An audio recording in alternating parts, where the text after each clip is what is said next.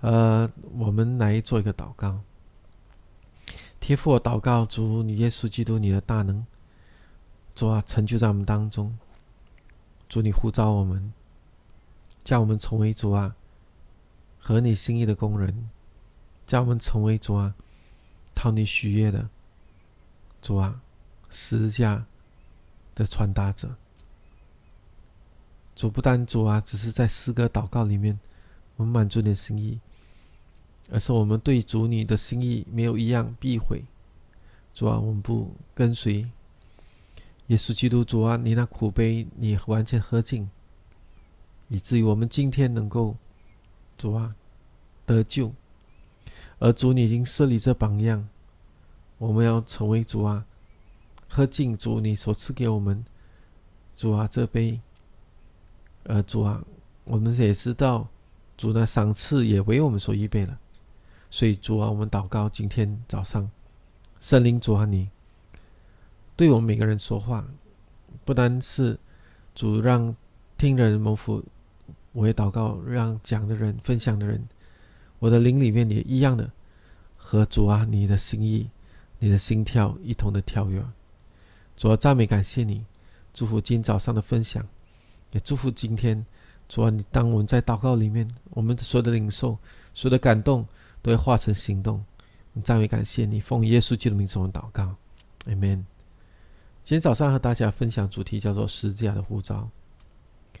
你知道有些时候，呃，我们会把一些信息啊放在这一个油管或者 YouTube 啊，有些人知道，或者社交媒体上面，有一个很特别、很奇怪的东西，就是你的主题很重要。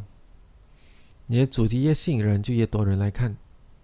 你的主题如果越简单，到一个地步，别人猜得到，或者猜测，或者是对你那个主题有先入为主的一个的看法，不不管你主题是多好，呃，有些人就不看了。那怎么知道？你去看那流量，你就知道。圣经的话，并没有啊，并没有叫做什么说错。在幕后的时代里面，好多人都在听那些。教师来烧他们的痒，来搔痒他们的耳朵，只想听一些新的东西。嗯，可能这个十字架的护照呢，放上去的时候，油管的时候呢，啊，不会有很多人来看。就好像曾经有一次，我放呃这个基督 OK 十字架的对付，啊，其他的整个系列一共九个课程。每个都很多人看，就偏偏这个十架对付或者十架致死致死这个呃嫉妒呢啊就没有人要看，呃我猜想不是他们对神的话也没有兴趣，我觉得他们已经对那一个主题已经大概猜到他会在说什么。很多时候呢，我们就处在这种熟灵的光景里面，遇到一些讲要要付代价的，遇到一些呃熟悉的题目。我们就觉得我会了，我懂了，但是我们要问个问题：我们是否有没有去做成？今天的主题十字架的护照，呃，我实在是从一个很棒的一个你啊，这个我可以说是你将领啊，在这时代里面宣教里面鲜少有的一个女将领呃，Carol Watt 啊，他的整个兴趣里面几乎烧尽了我们每个人的心。所以，我每一次我吃到好吃的东西，我总是第一时间想到自己的家人，啊，自己教会也包括 RTOD 的家人，我希望能够把这个信息和大家传达，因为能够烧到我的心的，我相信烟神也透过这信息也烧到大家的心，点燃这个火来奔跑，啊，这个放在摆在我们前面的这个路程，那首先一个很重要的一个观念，我们必须要有的，就是神。呼召我们成为他同工，同工的意思，其中一个意思就是一同去完成神摆在我们面前的使命。当神把这句话写在圣经里面，在马太福音二十四章十四节，说到这天国的福音要传遍天下的意思，对万民做见证，就是对任何一个民族，任何没有听到神的名字的民族，然后末期才来到。有些人说，那今天的福音已经传遍天下了，几乎每一个呃民族都能够啊有手机都能滑到手机能够看到。但我相信这个也是一件事情，就是不代表已经传过福音的地方不重要。这才是一个神呼召这个福音的使者，要把福音传遍天下，要向万民做见证。也就是说，不是他我唯一到，而是真的有人去牧养，真的有人去传扬，去建立教会。然后，当福音传遍天下，每一个人都有机会来对这个呃耶稣基督的福音做出回应的时候呢，然后末期才来到。我深信中国在。每一个地方都有人传福音，可能也有一些福音是被打压情况下没有办法传遍，也没有办法有效的传片，没有有那自由的传片。我相信在很多穆斯林的国家里面，也面对极多的打压。我们所要谈的一个很关键的事情，就是这个幕后最大的征战、最终的征战、最底线的征战。已经来到我门前了。神兴起了二十四期祷告，不是只是为了祷告。我们祷告，你们去。我当然也知道明白，有一些人真的只能够祷告，一他会，比如说双他的腿没办法走得很远，所以他就扮演一个祷告的角色。还有些人语言他没有办法，他就是不会讲当地语言，你他叫他去，他也不能做些什么。但是无论如何，在这个时刻里面，我们要深信一样事情：我们全部都被呼召成为童工，我们要一起去完成神的使命。能够祷告的我们祷告，能够门训的我们门训。因为你不知道你门训的人这一个人身上所带着的恩赐、带着的才干、带着的这个呼召是不一样的。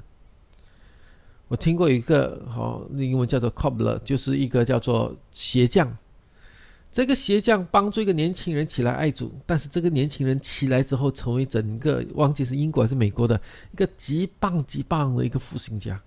而这个这个年轻人怎么被训练起来，是因为一个 cobbler，一个鞋匠把他兴起来。我们不知道的，你是一个婆婆，你是个妈妈，你是个父亲，是一个祖父，你是个牧师，你只是一个普通小组的一个童工。当你愿意去完成这个使命的时候，完成神良给你的这个使命的时候呢，你要知道，你将会兴起，兴起极棒的人，为了完成这个世界的一个福音。所有每个人都要知道，我们被呼召被同工。而圣经里面说到：“我不以无福音为耻。”这福音本是神的大能，要救一切相信的。我听到一个一个讲员，他这么说：“Use me alive and use me a date。” OK，当然英文都不能说 alive a date，不是通常不是这个字，但是用他用这个同样的姿势，就活的活用我，死也用我，或者是当我活着的时候你用我，当我当你我死的时候你用我的死来完成你的旨意。最近呃很感人的一个事情，在我们这个呃守望这个世界门户，在这春节除夕夜的时候。呃，韩国的一个牧师叫巴斯杰克，他分享一样事情。他突然间他说到：“呃，陈牧师，我要做一个见证。陈牧师啊，这个跟你有关系的。哇，我这样很奇怪哈，什么东西我跟韩国有关系呢？哦，原来是这样子的。原来是当我们新加坡啊基督心腹祷告殿哈的这个的这个的领袖的负责人，我们萨摩长老啊去到韩国，他跟克安东牧师在一起。”后来两个人都感染了这个 COVID，就是疫情。呃，看到牧师神迹之下，神医治了他，他离开了那地方，他就好了。但是萨摩长老就在那边咳得不停，因为他很延后就医，整个情况就变得很严重。然后呢，当然我们知道这个故事，他后来被送回呃新加坡，然后在新加坡安息主怀。但是当他在韩国的时候，我就联络这个呃这个 Jackie 牧师呢，他就过去去探访他。他在经过一个地方，啊，梨花苑，然后韩国梨花苑非常出名的。最近不是踩踏事件，他在那个地方，那是两年前的事情。他就在那个地方，当这个事情还没发生之前，他就祷告，因为他去探访这个长老，他回的时候呢，经过那个梨花苑的这个地方呢，他就圣灵很大的感动他，他就停在十字路口，就开车停在路边的，就迫切祷告，祷告到整个负担离开。他然后呢？一个星期过后，呃，一个星期过后呢，突然之间就发生踩踏事件。他就问主主主，为什么你突然感动那么强烈，迫切的为那地方祷告，而接下来一一周里面就发生踩踏事件？我的祷告到底是带来灾祸呢，或者祷告带来是什么？什么事情发生呢？因为踩踏事件，令到整个韩国的社会觉醒起来。他说：“我们这年轻人在干什么？为什么在疯狂明星？为什么有这种很不必要的会聚集在一起？结果呢？他们开始来审。”就是就是来审审查自己，我们真的需要这些东西吗？这些庆典是有必要的吗？为什么会导致我们的下一代这样子疯狂，而是一直死死在这样子不必要的死里面？结果呢？他们还其中一个东西被标签出来说：为什么我们需要有这个万圣节？我们是当中不是很多基督徒吗？啊，我们不是当中有好多呃这些。呃，我们不是有我们这里传统吗？为什么我们要崇美？为什么我们要这事情发生？结果就突然之间发生什么事情呢？他们就开始拒绝万圣节，而就在几个星期过后的万圣节，就因为第一次踩踏事件离万圣节很靠近的时候，然后过几个星期过后，万圣节来的时候，整个地方梨花宴没有人去，没有人庆祝这样的事情，突然间，整个韩国社会就拒绝了这个万圣节。然后呢，再多一年，就二零二三年，也是没有人庆祝这个万圣节。竟然在这件事情里面，上帝把整个万圣节从韩国的这个社会里拔根，把它根除出去。有时候我听到这句话的时候，我心里在想：主啊，活着主也要用我，死主也要用我。当史蒂凡被人家扔死石头要死的时候。史蒂凡说了这句话：“主啊，赦免他们罪，因他们不知道他们做什么。但把灵魂交给主，求主不要赦免，不要不要呃定他们的罪，赦免他们。因这他为了这一群人被钉丢石头，他被训到之后呢，整个复兴就临到整个啊，除了耶路撒冷，当然耶路撒冷经过极大的逼迫，但是这复兴爆发起来，呃，人分散。”去到这个撒玛利亚，福音就一大波的就进到整个撒玛利亚，而从撒玛利亚一直往外走，走到最后到外邦人当中。真的，我们真的说一句话，我真的有些时候我要跟弟兄这边说，如果一天你真的要为主殉道，你要记得要做死一凡的祷告，千万不要做亚伯的祷告。亚伯的祷告，死耶华神说什么？他的血在地上向我伸呃伸冤。我们不要说为什么他们杀我。我没有马上说主啊，赦免他们的罪。我的血液倾倒在地上，为了真理的复兴。我们真的活着要被神用，死也要被神用。这福音的大能要救一切相信的人。我这个福音的大能不是指活的时候就有能力，福音的大能即使在我死的时候也有能力。伊丽莎的骸骨。扔在一个地被埋在一个地方，当有人死人经过的时候，应该是说有东西扔在这个骸骨的地方的时候，这骸骨也死活起来。亲爱的弟兄姊妹们，我们是否愿意让活也被神用，死也被神用？我深信我们每一个人都渴望我们一生被神所用。让我告诉你，让我活着也被神用，死也被神用。我活的是主的，我死也是主的。我们是神的同工，我们有这样的，我们有这样子的英文叫做 privilege，有这样子的荣幸，能够生命被神所用。而神的十字架不是要救我们上天堂，我们我也说了很多次，我们也知道这个事情。我们活着，主耶稣基督的死不是只是拯救我们能够上天堂，他是救赎了整个人类的统治权，把他再次夺回来。耶稣基督死也让万国都归向他。但是我们知道，这一神使万物都在他脚下，只是我们现在还没有看到万物在他脚下。原因是他现在等待我们去完成这个工作。这个呃的希伯来书里，如果我没有记错的话，希伯来书二章八节哈，呃的讲义里面是没有的。希伯来书二二章八节里面呢，呃，如果没有看，如果没有记错哈，他叫万物都伏在他脚下，既叫万物都伏在他脚，都服他，就是没有剩下一样不服他。只是到如今，我还不见万物都服他，是我们现在还没有看到万物服他，但是将会来到一个时候。万物要伏在他的脚下，而我们其中一个工作，就是要让耶稣基督，要让耶稣基督他的名字被传扬到全地，而且门训。我们从心里，我我常说一样事情：牧师，我们的工作不能够只是讲道罢了，我们要做超过讲道。呃，弟兄姊妹们，教会工作不能单只是传福音叫人信主，而且要门训人。耶稣未曾跟我们讨论关于到跟随他的福利。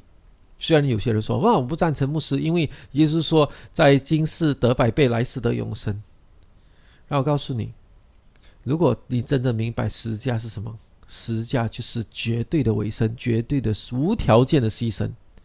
十字架，耶稣上十字架，他的最后一片布也被剥下来，他所有的皮肉都被打的破开，他的血每一滴的流出来，他最后个气息也吐出来，他完完全全失去一切所有。十字架是个绝对委身、无条件牺牲的摆上，而只有这样子无条件的委、无条件的委身、绝对的委身、无条件牺牲的摆上呢，完绝对的降服里面呢，产生出的是什么？福音的大能。我们常常希望看到福音的大能，但是我们很多时候只想要好，只是说阿妹一生的希望看到能力释放出来。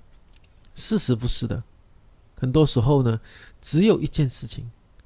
只有在我们完完全全降服里面，福音的大能出来。因为福音的大能是什么？十字架。十字架呼召我们跟随。今天我们同谈太多益处和和好处，福音的好处，福音就是好消息。我告诉你，这有一些人真的是好消息，对我们应该说是好消息。但是当你听里面福音是什么内容，是完全。那很多人就开始说：“哎呀。”这福音都一点不好，没有自由，因为我只要听耶稣。永远不要忘记一样事情：你听谁就是谁的仆人，你就做这个自己做个选择吧。你要让主，你成为主的仆人，还是你要成为世界仆人，做撒旦的仆人，做鬼魔的仆人，做情欲的仆人呢？当我们听，好像是我们失去自由，完完全全要顺服耶稣，完完全全要听耶稣，完完全全要听神的话语，好像没自由。不，你想清楚一下，那自由。是什么自由呢？那自由是耶稣基督是我们的主，耶稣基督是我们的主，耶稣基督是我们的王，耶稣基督是我们的一切。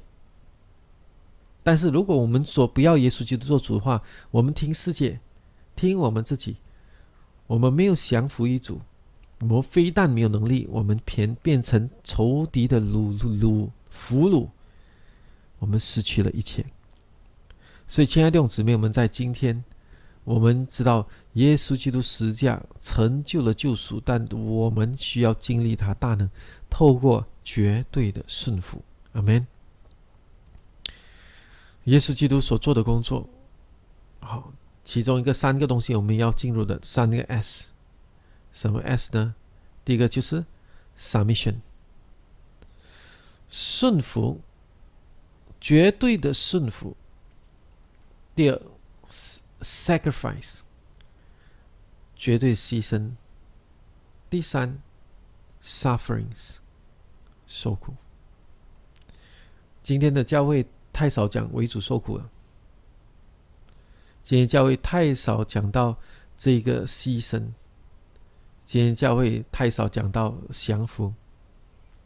我们都喜欢一些廉价的福音，我们喜欢过的。啊，简单的这一个的条件的服饰。我祷告主一样事情，求神来做成这个的工作，叫我们完全降服、牺牲、受苦，在基督耶稣里面。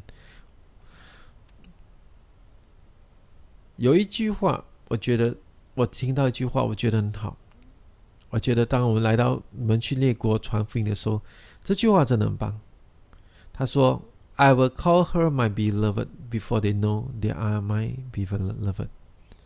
我将称她为我所亲爱的，在他们尚未知道他们是我所亲爱的。亲爱的弟兄姊妹们，神在何西亚书里面说到：“那本不是我指明的，我要称他为我的子民。这本来不是蒙爱的，但是我要称他们为。”蒙爱的。当我们传福音的时候，当我们去门训别人的时候，列国的时候，他们可能还在拒抵挡我们，在拒绝我们。在他们还不知道神爱他们的时候，我们就要称他们说啊，这些人是蒙爱的。当我们有这样的看见，当我们有这样的经历的时候，当我们这样子去看见神的眼光看这世界的时候呢，我们就突然间发现到，哦，这些人是可爱的，这些人是神所爱的。很可惜，他看不到神爱他们；很可惜，他们没有办法看到他是神的心腹，beloved 是心腹。这是神对所有的世界上所有人说的。包括对所有的恐怖分子，包括对所有的这一些野蛮的这一个，我不是说野蛮民族，就是还未开化的一些深山野岭里面的不认识主的、没有听过主的，他是爱他们的。让我们看到这一切的时候，感谢神，他做成那个工作。有一些时候呢，我们要知道传福音的时候呢，有一个很关键的时候，就是如果你现在不捡起来这个福音的果子，他们就会受坏。有一个讲员，他用这句话来说：“呃，耶稣基督的十二这个五五个大麦饼啊，给众人吃了。”然后呢，收拾起来装了十二篮子。然后呢，同样的这个经文里面，他就讲猜我来者的意思就是，他所赐给我的，叫我一个也不失落，叫末日叫他复活。你有没有这个想过？如果你不向那人传福音，不赶紧的门训那个人，他会被糟蹋的，他会被仇敌掳回去。或者他会错过他应该得救的那个时候。我们最近传福音给一个呃，我们教会会有的一个女子女，这子女患了这个癌症，一就一发现到的时候已经末期，严宁是之前他也没有去做检查，后来检查是癌症的时候呢，他拒绝医医疗。他害怕医疗过后会更加辛苦，他有很多对医疗的错误的观念。这个是我们还没有认识他之前所发生的事情。当我们认识他的时候，听到这事情的时候呢，呃，我们听到的事情已经很严重了。怎么说呢？他除了末期中的末期，呃，而且呃不呃末期了还不去医疗，而且呃家人直接替他买坟地。你可以想象一个活活的一个住住活的好好的人，家人开始替你买坟地，预备你的丧礼，是多么可怜的一个状况。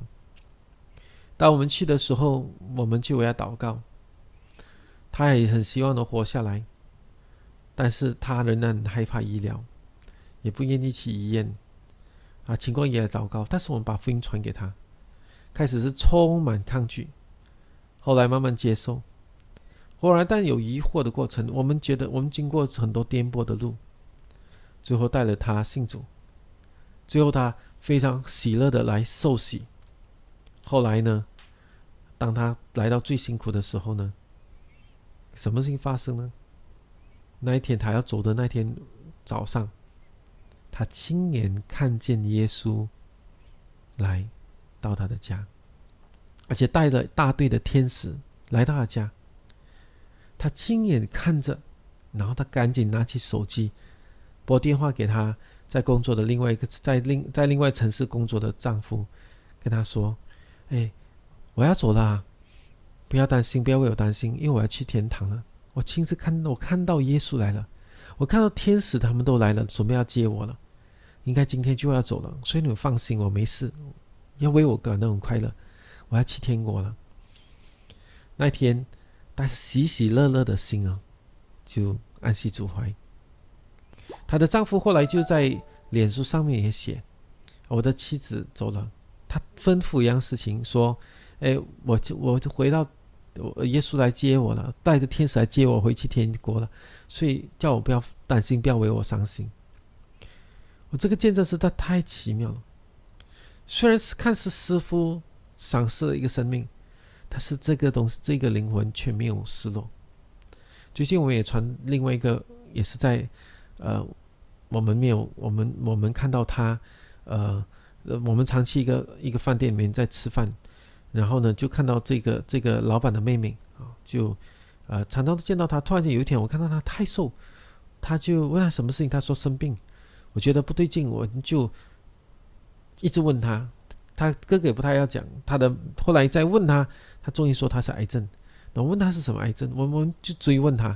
然后呢，后来安排时间去他家，去探访，给他呃这个保健品一些东西，传福音。但是到最后呢，啊，在新年的前几天，啊，这个春节的前几天呢，他就过世。他是过世之前呢，我们去探望他，帮助他，肯定他。教导他祷告，教他仰望主，你知道吗？真的，神真的把这一些零碎放在我们面前。我们所有人都是祷告的人，但是不要忘记，你一不捡起来，你一错过那时间，他们就收坏了。传福音、门训，所有的东西都是有个时间点。今天我们要成为那个。舍弃麦穗，赶紧把这些装满，把它让没有任何一个人失落。这传福音的人，这是非常重要的。可能你心里想：“哎，我我只想要传福音。”我要问大家一个问题：你背的是自己想的十字架，还是背的是无条件、绝对顺服的十字架，绝对牺牲的十字架？绝对为主受苦的十字架吗？你能不能够看见这些人是神所爱的？这些人是神所拣选，这些人都等着这福音来拯救他们的，你知道吗？神，这是神留下给我们的一个使命，叫我们把他们一个也不失落带到他的面前。阿门。有一些有一天我会知道。我地我天上的朋友比地上朋友来的更多。有一天我会会来到一个点，我在天上的会友比我在地上的会友来的更多。原因是没有一个失落，他只是换了地方聚会，换了这个地方敬拜神。你可以有这样子看见吗？不是看教会人数大和少多和少，不是看你的你的这个圈子里面有多少个。但是更重要就是把每一个人都带到神的国里面。所以在圣经里面有讲这句话，在启示录七章九节里面说到：“此后我观看见许多人，没有人能数得过来，是从各国、各族、各民、各方来的，站在宝座和羔羊面前，身穿白衣，手拿棕树枝。”大声喊着说：“愿救恩归于坐在宝座上，我们的神也归羔羊。”亲爱的弟兄姊妹们，有各国、各族、各方、各民的人来到神的面前，你要来呼喊耶稣基督的名。而我们的任务不是只是一个国家，我们的任务是列国。你可以通过很多方式去完成它，通过支持宣教士。透过训练你本地的门徒成为刚强，因为你要知道，你的本地的门徒，以他们有一天会出去，会在别的地方工作，别的地方服侍，别的地方搬到别的地方移民或者什么样事情都会发生。但是他出去的时候就成为了一个宣教士，应该说就是在本地他也是宣教士，在职场在工作场地他是宣教士，所以我们要相信神，神在我们当中做奇妙的事情。圣经里面说：“不是你拣选了我，是我拣选了你们。然后呢，并且分派你们去结果子，叫你们的果子长存，使你们奉我的名，无论向父求什么，我就赐给你们。重重点是叫你去结果子，分派你们去结果子，叫你们果子长存。不是单单有果子，而是长存的果子。长存的果子只有一条路罢了。”就是能够门训，被门训的人才能够长存，没有被门训的人不能够长存他的果子，这是何等重要一件事情！我们要向自己死。今天要讲一个讲十字架的呼召，一定是要讲死，因为十字架就是跟死有关系。向我们自己死，那么魔鬼就无法杀死一个死人。Die to ourselves, then devil can kill a dead man。很多时候我们太容易被在被杀，好被魔鬼攻击，去掉进害怕里面。原因是我们还没有对自己死。你怕失去，你怕失败，你怕失落。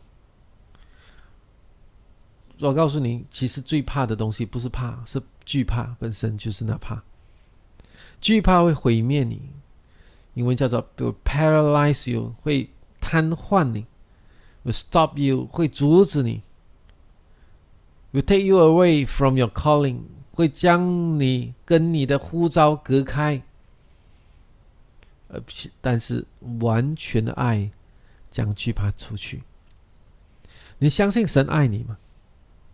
这一点是我们每一个人一定要在神的国里面非常清楚的，就是神爱我们。如果我们没有办法使其中一个很大的原因，我觉得是个很大的原因是什么？就是因为我们有太多的自己，我们还没有死透，我们太多的想法，我们太多这一个叫什么？太多。从自己而来的各种的这种的思想，我们还没有完全死，以至于魔鬼还能够找到可以杀的东西，可以恐吓你的东西。但是你完完全全藏在神的爱里面，你不怕任何东西，不怕任何一切东西，神就能够使用你。所以我祷告主一样事情，求神动工在我们当中，不要让惧怕。来毁灭我们。有一，只要我们把我们眼目定睛在耶稣基督身上，我们就能走在不可能的路上。我的意思说，不是找一大堆麻烦，就是说，你能够看见不可能都可以发生。当你看到前方好像没有路，但神却把路打开。When you see there's no way, but God will open a new way for you. As long you fix your eyes, your eyes look on me, you will walk on the impossible. If you turn away, then you will be broken. 如果你转身离开的话，你就会被破碎掉。很多时候，每一个人，好多人都经历同样事情。什么时候我远离神，我就跌倒，我就破碎。什么时候把眼目定在神的身上，哪怕问题多大。再不可能的事情都要发生在当中。说到这些东西，原因为什么？你说为什么牧师你要讲谈这东西？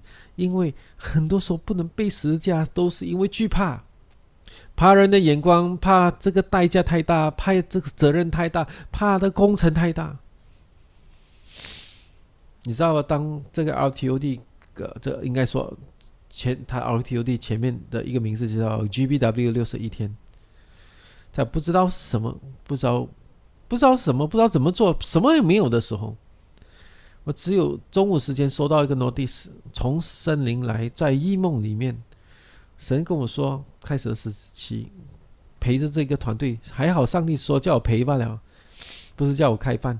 我的工作只要陪着这个团队，有什么东西就进来帮个忙，那个这个东西还挺好。我没有想到今天我还在这里继续做到现在。十二小时同时就开始进入二十四期，对我来说这是一高不不不高不可攀呢，真的不知道是什么事情来的。但是我只有知道一样事情，我的眼睛在定睛在耶稣身上。那为什么我会眼睛定睛在耶稣身上呢？因为我知道一件事，一件很简单的事情：如果不愿意顺服神的话，我很难再去见他的面。呃，我我跟大家解释下，神叫我做，我不要做。明天我去的时候，当我做，我们马来的话是这么说：我装傻，装着没听到耶稣昨天跟我说要我开始要要我陪伴二十四期，当着没事继续敬拜。哦，主，我敬拜你，我爱你，我一生都是你的。讲的太没底气了。昨天才叫你做二十四期，你也不肯做。结果又在跟神说：“神啊，我爱你，我一切都是你的。”讲不出口了。我知道，如果不愿意顺服，我眼睛一离开的时候，我也不愿意顺服的时候，就，哎，那个关系是是坏了。但是只有当我眼睛定睛在他身上，我说神，呃，如果你呼召我去做炮灰哈，就是做了失败，给给所有所有认识我的牧师哈的这些领袖。啊，这个圈子里面的领袖笑，你看这个这个陈牧师不知量力做的这个东西哈，啊，不知道是从哪里听来的，就就喊着去做，然后呢做失败，你看你看你看，然后真的我们有很多这样的思想，但我跟自己说，这个东西不重要，因为我心是死了的人，为主丢脸，为主摆上命，也是啊，再再再再应该也再再再正常也不过。就这样子的情况下，我眼睛定在他身上，根本不能够期待能够怎样得胜。但是神还是为我们开幕，开到今天。我只知道一样事情：什么时候神说你可以走了，那我的工作就完成了。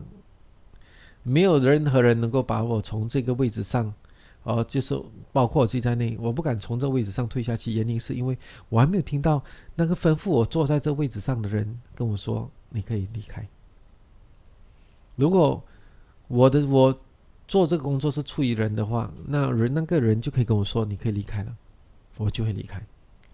但问题是我这个是神跟我说，所以我必须要等我上面的大老板，我的主，他说天翁好了，可以了，你去别的地方，你出负责别的地方了，这个东西交给别人，我会快乐的把工作交给主，交给那个人，那我就继续神给我下一个的任务。亲爱的弟兄姊妹们，只有定睛在耶稣身上，你的十字架上，你的十字架，faith，好，这个信心是什么？是 fix your focus on the face of your Father。OK，faith is fix your focus on the face of your Father，将你的焦点放在。你天赋的身上，我们每一个人要把眼目定睛放在一天天赋的脸上。像我前面说的，“Live by your word and die by your word”，凭你的话而生，而为你的话而死。即使要死，我要宣告我的为主而死。阿门。当然，有些人说我怕死，但是我只能告诉你。按照数据显示，人人都有一死，所以死亡率是一百八千，没有人可以跑掉。再怕你都要面对的。人人都有死，死后却有审判。我们每一个人都要为主而活，为主而死。如果我们做好准备为主而死，哈利路亚，赞美主！我一生人再也不怕死了。真的，如果你准备好为主而死，一生人就不用怕死了，因为你死都是为主死。感谢赞美主，活着是基督，死了便有益处，也是为基督。呃，话说容易哈，但是最重要的不要惧怕，因为你知道每一个都是为主，但我们最重要不要为犯罪而死哈，这个千万不要哈。呃，撒迦利亚书第二章第五节，耶和华说：“我要做耶路撒冷四围的火城。”并要做其中的荣耀。第八节，万金之优阿如此说，也万金之优阿说，在显著荣耀之后，差遣我去刑罚那掳掠你的列国，摸你的就是摸他眼中的同人。神要成为我们的火枪。你相信你被十字架上为主受苦，为主摆上，神要成为你的火枪吗？还是但你相信的是，当我被十架的时候，就是下一分钟，就是随时要被要被杀。你相信的是什么？我相信是，当我完全放下自己，把所有的安危都完全放在主的手中的时候，他就是我的保护。很多年前，很多年前，当我开始去到第二个宣教站的时候，主。呃，要求我那时候，我我要我我跟主说，我一个时候有一个牧养的教会，一时同时候有一个一个宣教据点。我说很够了，但神说要去第二个，我不要。最后神真的来我家，差遣我，就我就去。我带着团队准备要去的那一天下午，突然间我儿子就惊风，就是 fits 啊，就是突然间生病，然后冷着凉，然后惊风，整个人开始咬石头，呃，整个人不省人事。我赶忙的把他赶去医院里面抢救。当他在整个紧急室里面，他醒过来的那一分钟，我就走去外面。我我师母陪他，我走出去外面，空旷的天空就跟神讨论，应该说是跟神用广东话叫“拱手”，叫做讲讲理论。我说神，你教我去做宣教。现在我的儿子在我要去宣教的第一第一次第一次去那个地方的时候，突然间发生这个事情。你教我怎样出去宣教？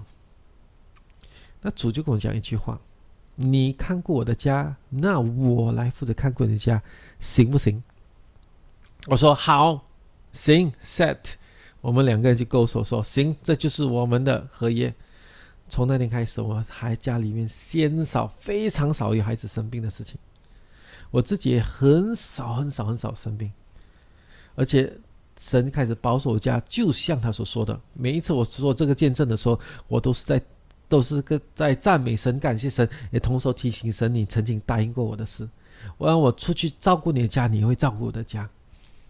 当我们被十字架为神舍下一切，准备为主而死的时候，我告诉你，他会成为你思维的火枪，你为什么惧怕呢？惧怕能够。使你瘫痪，使你从你的这个会阻止你，会使你从你的护照里面被隔离。你为什么要惧怕呢？为什么要惧怕？为什么不相信在完全的爱里面，神会保护你呢？十字架太容易唱了，但十字架要背起来，你必须要有勇敢，也要摆上。当我们说到这个为主得到这个列国的时候，的时候呢，我们要很明白一件事情，特别我们是非犹太人、外邦人，我们要知道，我们外邦人一个很重要一个的命定，就是神的殿要被称为万国祷告的殿。在旧约里面已经说了，是从万国祷告殿。哈该书里面叫我们去建造神的家，不是建造这个这个天花板的房屋。神要我们建造的不是一个只是美丽的教会建筑，而是神要我们建造的是个属灵的家。当然，如果你有钱的话，你要装潢你的这个圣殿的话，你的这个场地的话，那也只要合一就就去做。但是神更是要我们把整个注意力放在建造神的家，建造一个祷告的殿，成为一个祷告殿 （House of Prayer），成为万国祷告的殿。不管你的祷告殿能不能维持二十四期，我都欢迎你能够成为 LTOD 和其他二十四期祷告这个团队的这个的一个同工、一个团队、一个一个一个伙伴。原因是因为我们需要你的火和我们的火结合在一起，来彼此鼓励。很多人各个自己一个祷一个人祷告，祷告来祷告去，觉得自己都很怪，为什么一个人祷告？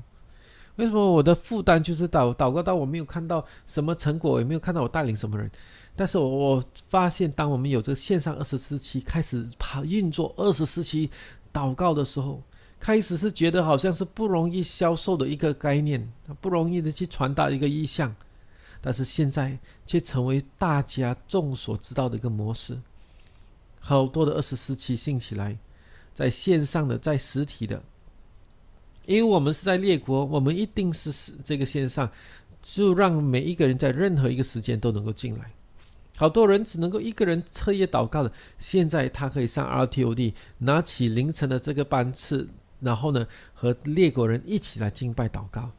他不再是孤单，因为你和他成为一个祷告的殿，同心合意谦卑在神的面前。但是祷告归祷告，祷告。里面很重要一样事情就是属灵的渠道，英文叫 wombs，就是子宫，子宫的功用就是 conceive，就是怀孕 pregnant。国家，一个国家是在你的属灵的子宫里面。当我教雅各的时候，发现其中一个称赞那个王女，称赞这个心腹如王后一般的身份的时候，他说：“你的肚脐如盐杯不缺调和的酒。”你的腰如一堆的麦子，周围是呃，周围有百合花。我心里想，称赞那个王的王后的这个呃这个的身材，称赞她的腰如一堆麦子是什么意思来的？是好呢还是不好呢？但是他要形容的不是那个身材，他形容是他整个子宫里面，他的肚腹里面，他的腰也是包括内脏，也是包括他肚腹，是生产工具。哦，这个器官的里面呢是有麦子，是里面结出异象。亲爱的姊妹们，属灵的子宫孕育着列国的意象，然后呢，属灵的怀孕才能生出国家。你当你在祷告的时候神不单的是让你的嘴巴在动，神也是让你的子宫属灵的子宫生出一项来，生出负担来，依赖着神的这个的声音。依赖着主的声音，才能够清楚做拟定整个策略，才能认清坚固营垒。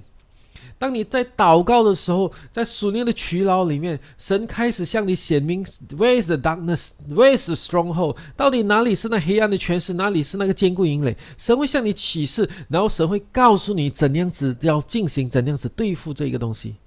整个列国的意向，列国的整个的策略，就透过属灵的子宫把它生出来。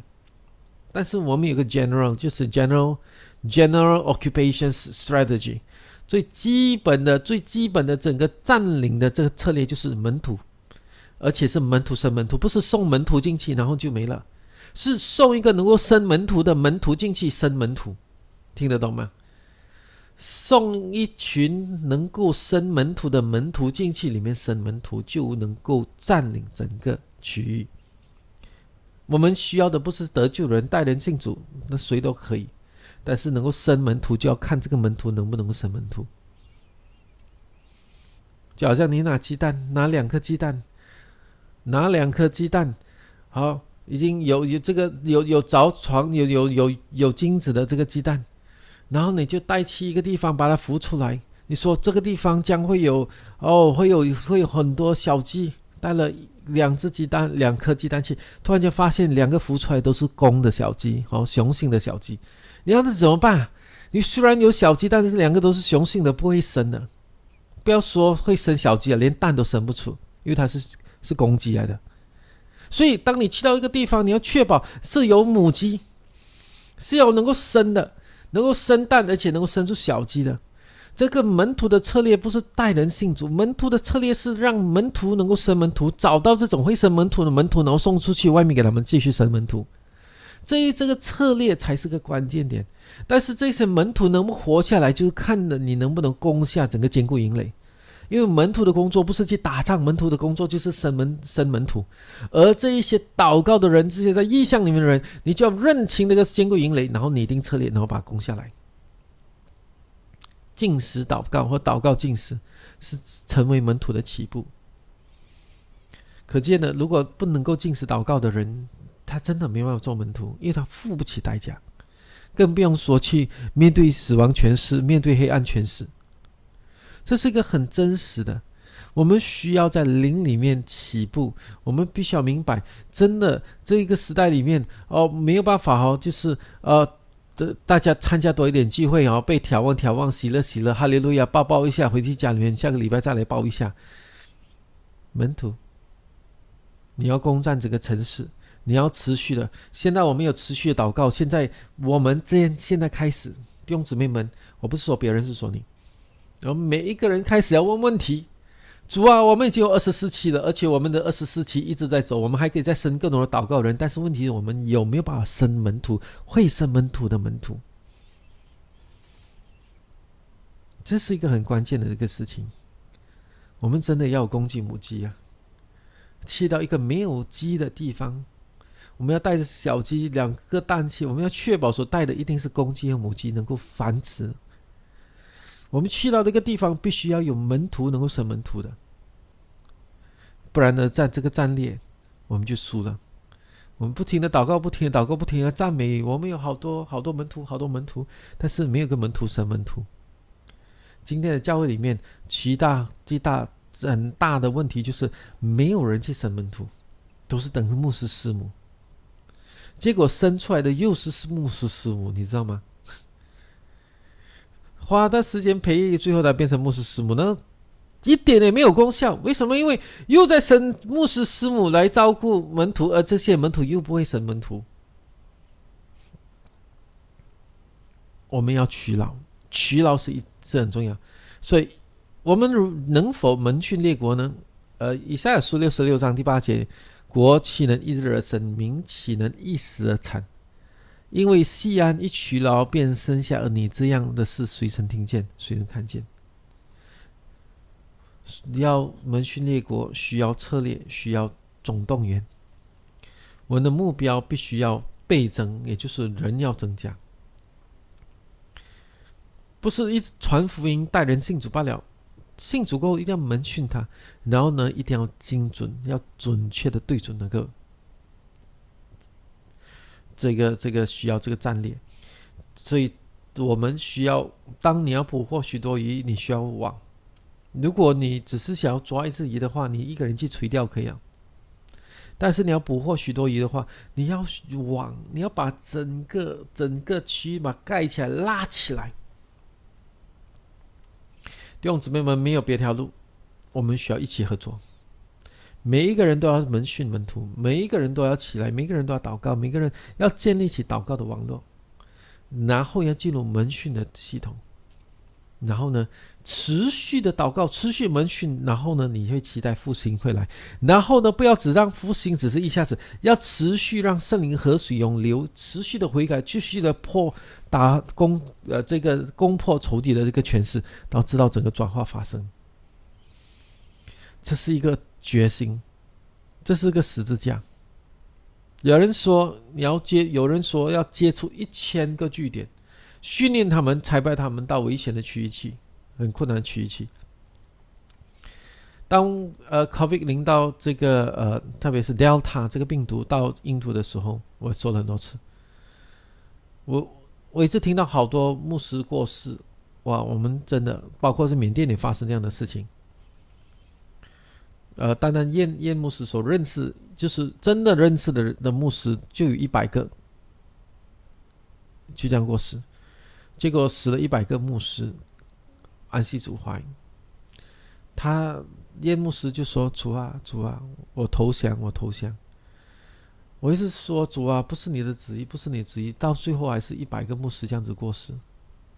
他说：“我投降，我投降了。你要如果是你的旨意，就让人家成就。”当燕牧师一投降的时候，主跟他说：“我接走一百个牧师，我会给你两百个牧师，你准备好。”结果呢，他就去赶就在 COVID 的时候呢，就办一个夏令会，召集年轻人，挑战他们做传道人。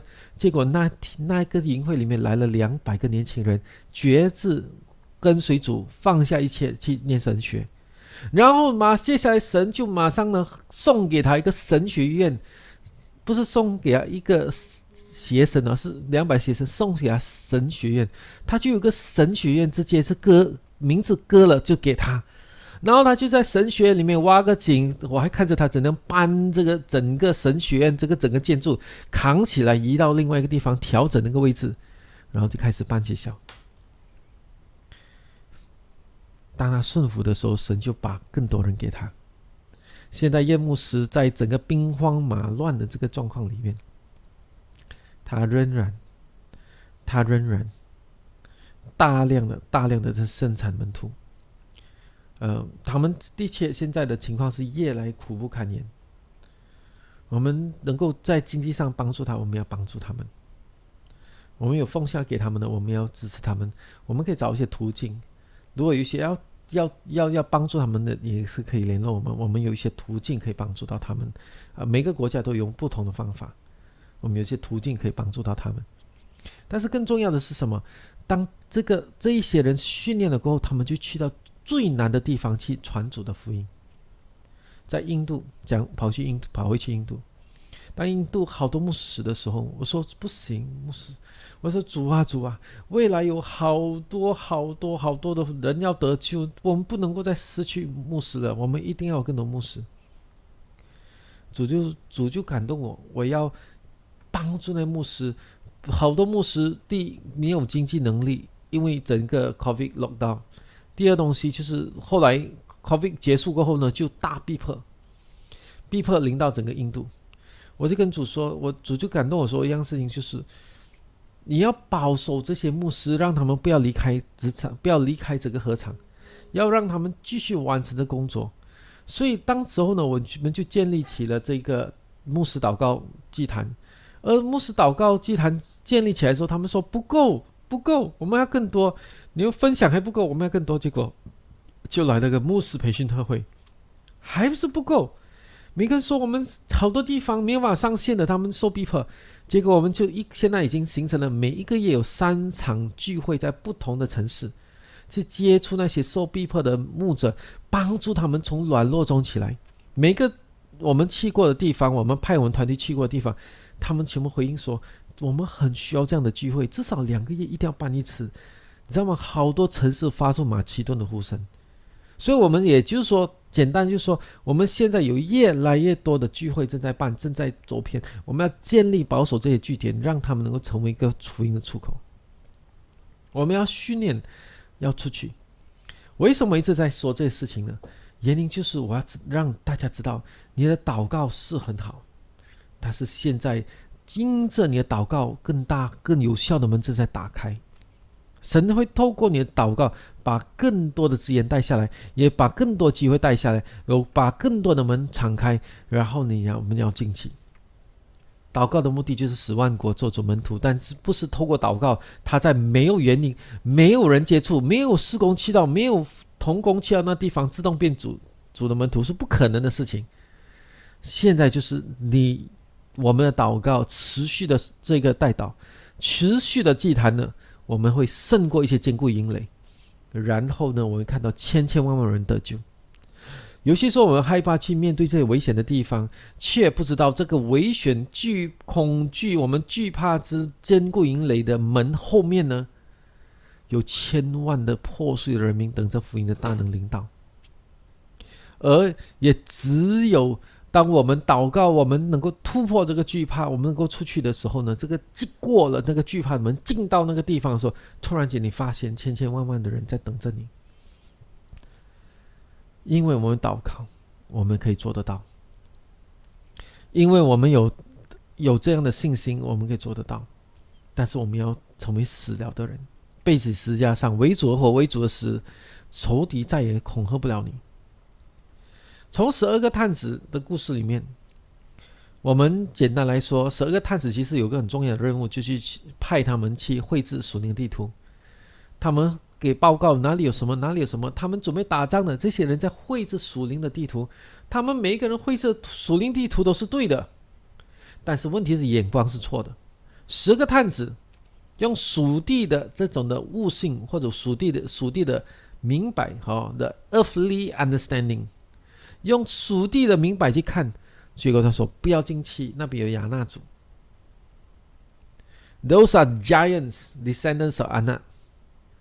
不要进去，亚纳族是巨人的后裔。我们像咱们，他们看我们也像咱们一样。但是这两个探子却是用属天宝座前的眼光说：不要惧怕，去吧。Ten say no, two say go。十个说不，两个说去。”所以到底是去还是不？很多时候我们先要成为少数的，最后才能够成为多数的。Sometimes we have to start as a minority, then one day will turn make into majority。有一些时候我们要用属灵的眼光来去看神要做的事情，是何等重要的。阿门。但是问题要记得一样事情，很多时候当我们不信的时候，什么事情发生？当我们不信的时候，神就需要等到你这一代。如果我们不信这一代过去，如果这一群领袖不相信的话，神要让这一代领袖过去了，神才能够信起信的。因为很多时候呢，只只有一两个有相信，其他不信的时候，这这两个人是受害者。神宁可把那一代不弄掉了，才让新的一代起来。你说太过费功夫了。其实我们太太太低估，太过不了解，真的不信对神来说是何等的羞辱。我们不信神是对神的一个英文叫做 mockery，是亵慢神，是辱骂神。神你做不到的，我不相信你做得到。我们要相信这一代亲爱的弟兄姊妹们，再也没有神，没有难成事。我在这平台里面，我相信我们每个人的信心都是达到这一点。我要宣告，我们这一代这这里这个平台里面的信心，都是以你为主和为主而死。我们一定要对自己的肉体死，对我们血气死。不要以为你来到祭坛，你的生命就完全。事实不是。第一次的谋杀案，两兄弟的谋杀案，你知道这两个人都喜欢祭坛，你知道不知道？不要。千万不要误会，只有亚伯喜欢祭坛，盖隐不喜欢祭坛。这两个人都是超喜爱祭坛的，这两个人都是献祭的。但是有一个人有献祭，但是生命没有对付，他没有处理他的内心世界。今天好多带刀者没有处理他内心世界，他只是等待时间爆炸的感应。我祷告主，你不是。神说，最想要致富你，呃，最想要得着你恋慕你。罪就在门口，他恋慕你，但是你要制服他。你里面，你那受伤，你里面的那个你，你有没有去制服他？该隐、亚伯两个都是祭坛的这个好这个常客，但是该隐从来没有处理他生命。不要以为祷告就可以了。所以我们背十字架为主而死，这是何等重要的一件事情。我们要拥有。神的面和超自然的像，We must have the vision of the face of God and supernatural。十二个探子给我们的教训已经足够了。我们今这个时代，不要重蹈覆辙。RTOD 一开始是个非常干净纯洁的一个祷告运动。我们甚至开始说，连收奉献都不收，真的，我们不收奉献。我们真的凭信心请所有的讲员，都是最后只跟他说一声谢谢。我们的童工全部都是没有付一切的代价来做所有的事情，因为我们连口袋、连钱包也没有。人生很的单纯，走啊走着的，我们知道我们需要尊荣牧者，我们需要有一些最基本的开开销。我们当时候全部人都是抛腰包，就给。没有收的这种情况下去做，后来有发现也有情况下，我们需要出国，需要跟别的施工连接，他们都呼喊，我们需要 RTOD 的家人站在我们一起，我们需要东南亚的家人，RTOD 你代表列国，你需要我们来当中，所以我我常常需要出去，你知道，我们去扩大这个境界，我没有开始收风险，但是很多人都会觉得啊。祷告殿就是祷告殿，不要不要参与别的东西。我也以前也是这样想，后来慢慢认识到一件事情：主才是祷告殿的主，不是神学，不是名字的框架。主现在要我们跟他一起前进，祷告殿是我们前进的时候。当然，我们不会开教会。当然，我们不会去做其他的这个 RTOD 以外的事情，但是我们正在点的火，我们正在回应的信息，我们整个列国身体要前进的，是要定睛在神的面，相信神的超自然，像加勒耶稣呀，另外一种的心智来跟随神。我们不要掉在一个不幸的一个环境里面。我祷告主，当你在常常来这个 RTOD 这平台和我们一起学习的时候，我祷告主。你不是只是知道祷告，你的负担要远超过祷告。你的负担就是跟随神，你的负担就是做神要你做的。这是一条未曾走过的路。这个是出现在耶稣亚三章。耶稣亚清早起来，和以色列众人都离开神庭，来到耶旦河，就坐在那里等候过河。过了三天，官长走偏营中，吩咐百姓说：“你们看见耶和华神的夜柜，又见祭司利未人抬着，就要离开所住的地方，跟着夜柜去。只是你们和夜柜的相离要两两千走，不可以夜柜相近。”使你们知道当走的路，因为呢这条路你们从来没有走过。百姓这个耶稣啊吩咐百姓说：“你们要自洁，因为明天耶和华必在你们中间行奇事。”耶稣也要吩咐祭司说：“你们抬起约柜，在百姓前头过去。”于是他们起来抬起约柜，在百姓前头走。耶和华对耶稣亚说：“从今日起。”我必使你在以色列众人眼前尊大，使他们知道我怎样与摩西同在，也照样与你同在。你要吩咐台耶柜的祭司说：“你们到了耶旦河的水边，要在耶旦的河水里站住。”耶稣亚对以色列人说：“你们进前来听耶和华你们神的话。”耶稣亚说：“看哪，普天下主的耶柜必在你们前头走过去，到耶旦河里。”因此，你们就知道，在你们中间有永生神，并他在你们面前感触迦南人、赫人、西魏人、比利洗人、哥加撒人、亚摩利人、耶布斯人。你们现在要从以色列支派中拣选十二个人，每支每支派一个人，是等到普天下主耶和华的约柜的祭司把脚踏在耶旦河水里，耶旦河的水。就从上往下流的水，从往上流往从上往下流的水，必然断绝，立成立起成垒。百姓离开帐篷要过耶旦河的时候，抬耶柜的祭司扔在百姓的前头。他们到了耶旦河，脚一入水，原来耶旦河在收割的日子涨过两岸，那从上往下流的水便在极远之地。萨拉旦旁亚当城那里停住，立起城垒。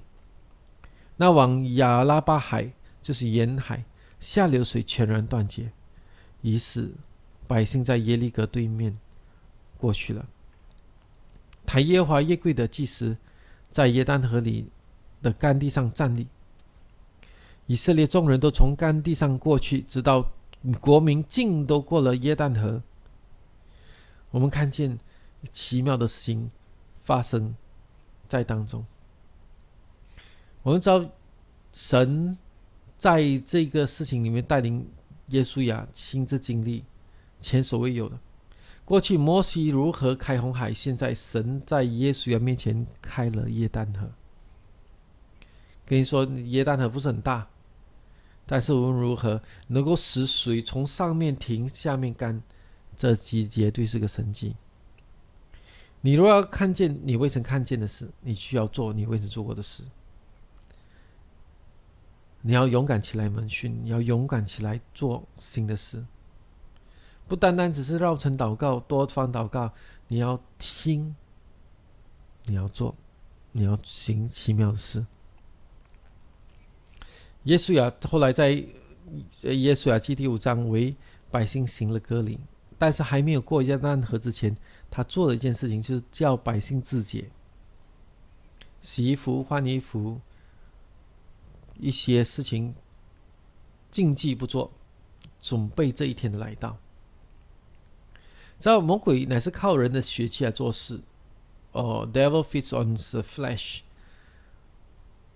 魔鬼都是靠我们有血气的时候才能做事。百姓需要自洁。因为不要让魔鬼有机会可乘。如果我们要占领一个国家，我们要门训一个国家，我们就要必须要先门信人民。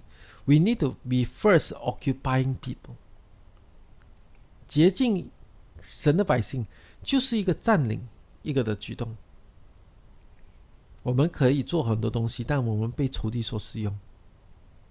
我们看见，在许多祷告的运动里面，许多。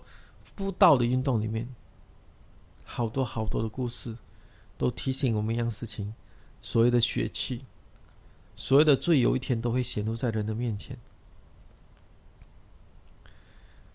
耶稣呀，他洁净神的百姓。第二，耶稣呀叫祭司扛起夜柜向前走，这是神的吩咐。那祭司夜柜这方面，你要记得，祭司工作是扛起扛起这个夜柜，肩膀扛着神的同在，而神同在必须向前走，而且行在百姓前面，这是我们要知道的。我们不是靠我们的力量打胜属灵的征战，而是因为神先在我们前行。我还记得有一次，当我进一个拱门，带着团队去一个城市，先做一个征战祷告之前，我经过那个新村的那个拱门的时候，一经过的时候，我的车子里面复印车里面的唱机有 M P 三啊，M P 三里面突然间就跳一首歌。跳进神跟我说话那首的那首歌的中间那一段，就是那个时间。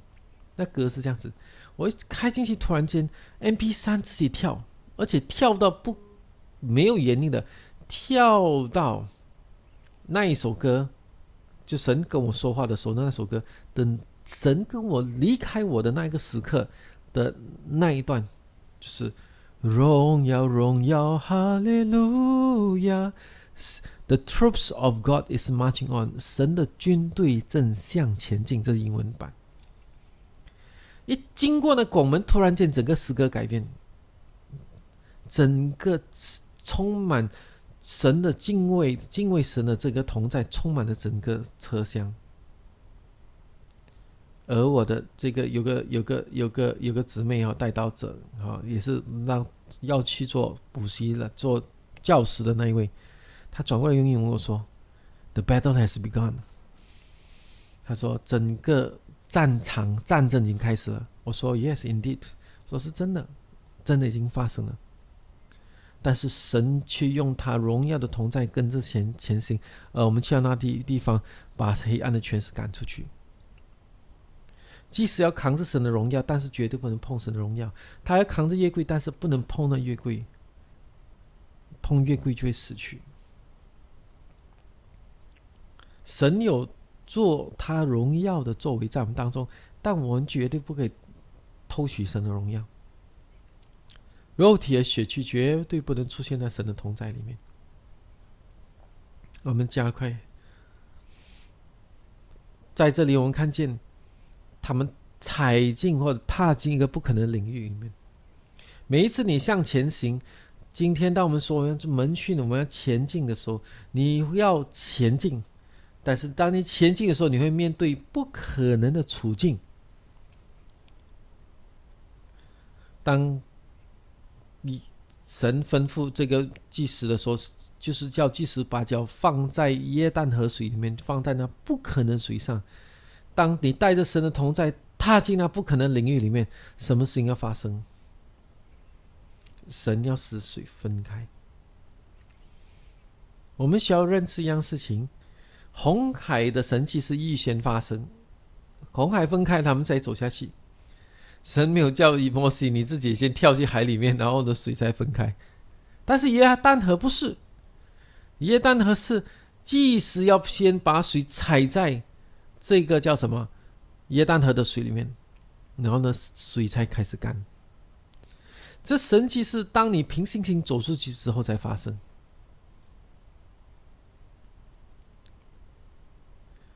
这些都是深夜教会里面常常信心的这个神迹模式。你看到耶旦，你看到这个新业里面，好多事情都是问题已经发生了，甚至保罗已经做被关进监牢了，然后监牢的门才打开，保罗已经掉进那进到海里面了，进到这个什么，进到这个风暴里面的神迹才发生。这个保罗已经给蛇咬了，咬住在手上了。神迹一次才发生。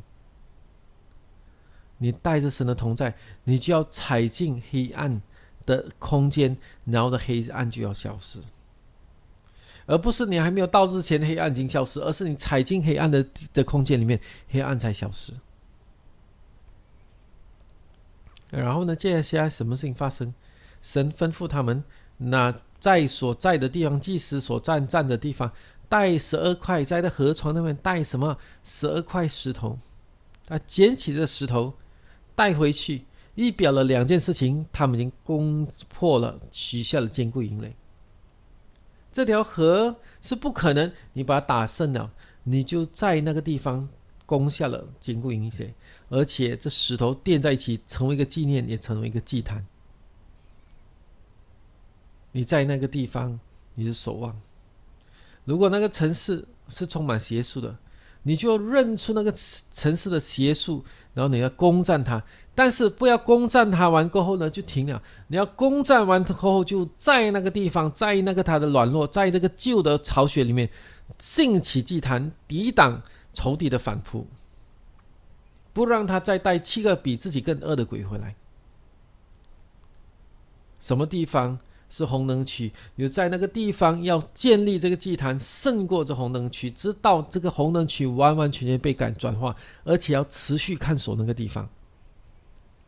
仇敌总是喜欢重新反复同样的地方，他总是喜欢把那个景夺回来。大卫先是个敬拜者，后来才会成为一个这个这个巨人的杀手或者徒手。先是敬拜祈祷。然后得胜才来到。当你把神带进去，魔鬼就自然必须要移出来。最后要讲的复兴的三个工具箱，对不起，这个衣柜里面的三个物件，有人称这个复兴这个衣柜就是复兴的三个工具箱。第一就是它有个金冠的玛纳，玛纳是每一天来到的。玛纳是神对每一天的需要的回应。我们每天活着是靠着神每一句话。今天早上四点多我起来的时候，真的身体疲惫不堪。我一直在床上，一直在起身的时候坐在床上，一直说：“神，我今天人活着不靠食物，就靠你口中的每一句话。”我一直在宣告，因为我真的是爬不起来，头脑完全没有办法。说：“神啊，我活着。”不是靠食物，是靠神你口中的每一句话。你口中每一句话，你口中每一句话，一直宣告到我整个醒过来，到我去洗手间，我也是宣告，在我路上也是宣告。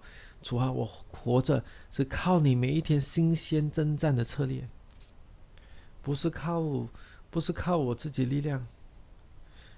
坦白说，有时候真的太累了，有时候有时候身体累，心灵也累，有时候不容易。但每次想到列国的家人在这时间是一个是一个这个属灵丰富宴宴席的一个时候，再累都一定要起来，再累都要喂养，再累都一定要呃这个叫做什么和大家一起享用，因为当然还有其他人讲道也可以，但是这是上帝量给我们。这个时间要做的东西，我求神供应每一次，供应神的话，让每一天有新鲜的战力。很多人说：“哦，主，我每一天都是做灵修。”你要知道，有一些说你灵修，每一天神给你的玛纳是告诉你今天你要怎样得胜。有些人不喜欢征战，所以只只喜欢亲密关系。但我告诉你，你一离开了这个 prayer closet 这个祷告密室的时候，一去到面对人，面对一些事情，征战就开始了。而神的每一天的带领，就是你新鲜的征战策略。有个有个牧师他说，他的他的父亲是恐怖分子哦，通缉要逮捕要捕杀的这个的的这个的这个的目标。他的父亲的名字长期都是被要被捕杀的，而他躲在深山野岭里面，继续在翻译当地的圣经译文。他每一次出去的时候，他经过的一个地方去传福音，那个地方都是有恐怖分子，要不就是开枪射杀骑机车的人，要不就是放炸弹炸毁那个巴士车。那条路上每一天都是有人死的，但是那条路是唯一一条路，大家都还是必须要走那条路。